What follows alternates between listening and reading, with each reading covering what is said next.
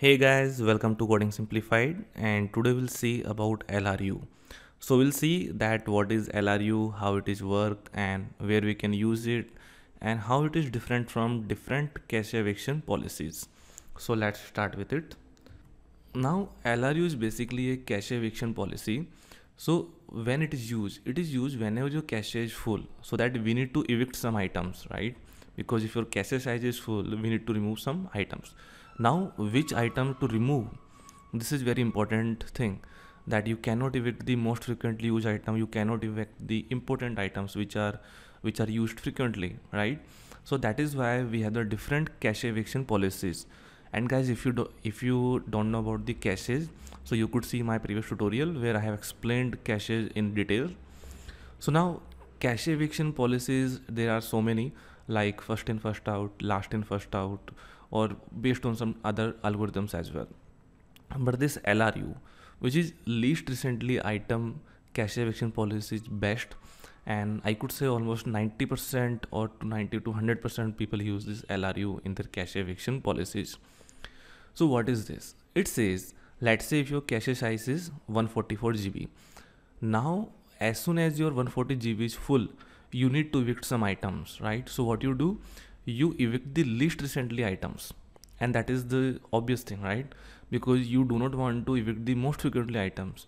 You always want to evict the least recently items. And that's what this LRU says all about right?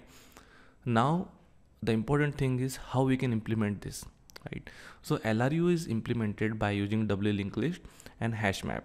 So we'll see that what is the concept of it so let's say uh, this is a hash map and this is a linked list doubly linked list. So what happens? So let's let's take example of the cache. So this doubly linked list is a cache size.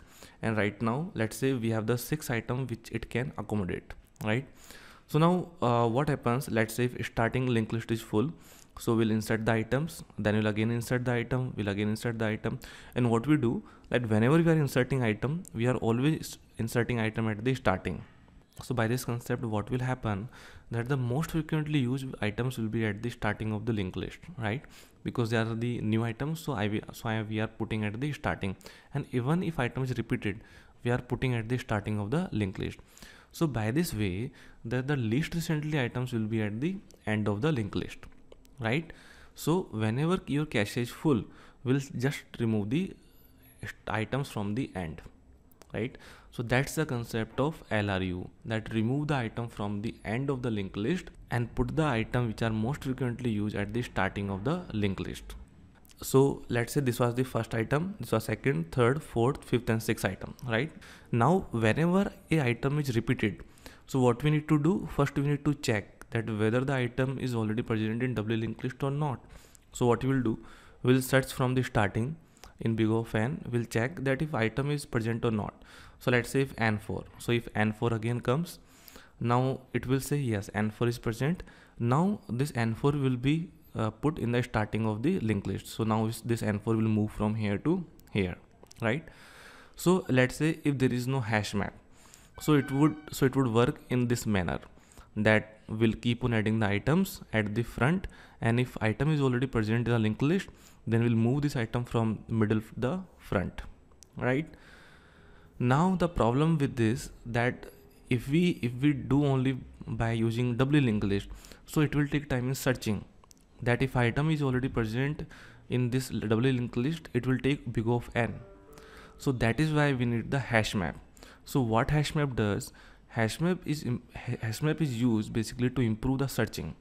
So in hashmap we can get the searching big of 1 so through hashmap what we'll do we'll put the keys as an integer and then we'll put the values as a node and which will point to the doubly linked list node. So what would happen?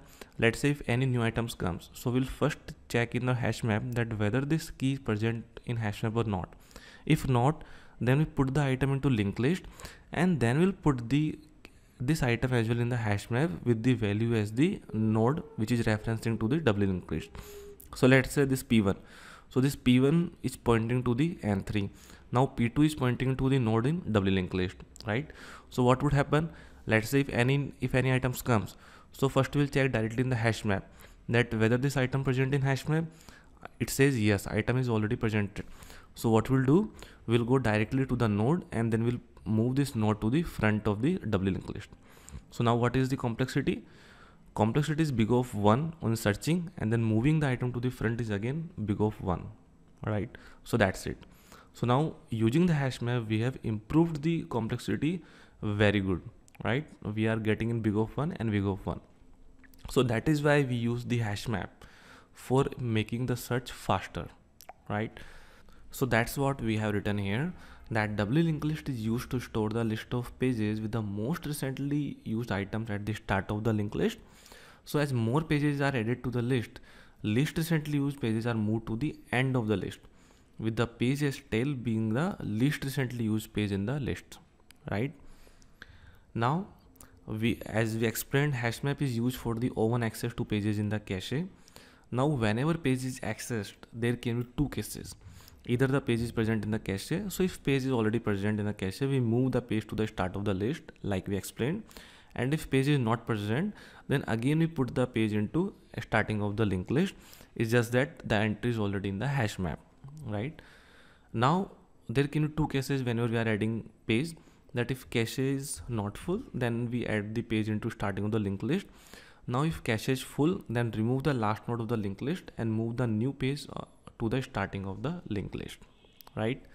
So that's how that's how we implement the LRU using hash map and doubly linked list. So that's it guys for this video.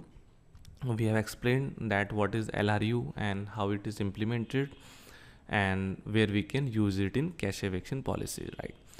So that's it for this video and if you have any doubts or if you think that there is any better cache eviction policy than LRU then please write in the comment section and we'll discuss about it.